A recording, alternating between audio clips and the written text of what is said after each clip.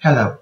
We examined this word gestures that people with visual impairments have defined and would like to use to control interactive devices and systems.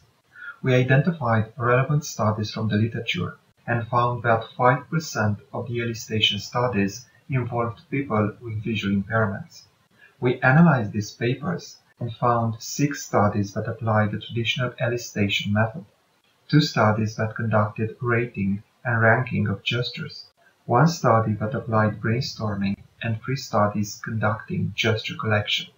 We compiled a set of 28 gestures proposed by people with visual impairments for smartphone input, 14 gestures for smart TV control, and 11 gestures for tangible interactions. Our compilation is useful to inform gestures are design for users with visual impairments. Our work also shows that more studies are needed to understand preferences for other gesture types. Thank you.